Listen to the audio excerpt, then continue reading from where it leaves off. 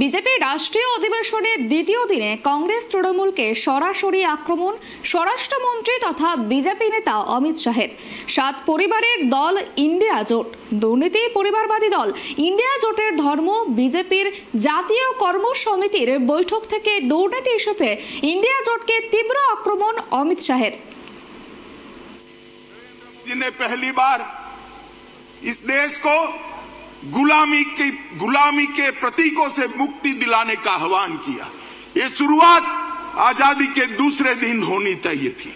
परंतु जब तक कांग्रेस रही, जब तक इंडिया अलायंस वाले रहे, इसकी कल्पना भी नहीं की। मोदी जी ने गुलामी के प्रतीकों से मुक्ति के लिए 15 अगस्त को लाल किले की प्राचीर से आह्वान किया और जनता ने पलक पावड़े बिछाकर इसका स्वागत किया और आज गुलामी के प्रतीकों से हम मुक्ति पा रहे हैं।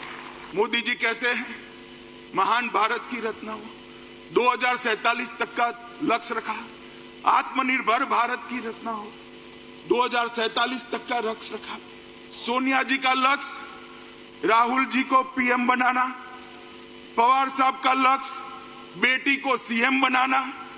ममता दीदी का लक्ष्य भतीजे को सीएम बनाना, स्टालिन का लक्ष्य अपने बेटे को सीएम बनाना, लालू प्रसाद जी का लक्ष्य अपने बेटे को सीएम बनाना, उद्धव ठाकरे का लक्ष्य अपने बेटे को सीएम बनाना और मुलायम सिंह जी बेटे को बनाकर ही गए अब मुझे एक बात बताइए कार्यकर्ता भाइयों बहनों, जिनका लक्ष्य ही अपने बेटे, बेटी, भतीजों का कल्याण हो वो गरीब का कल्याण कर सकता है क्या?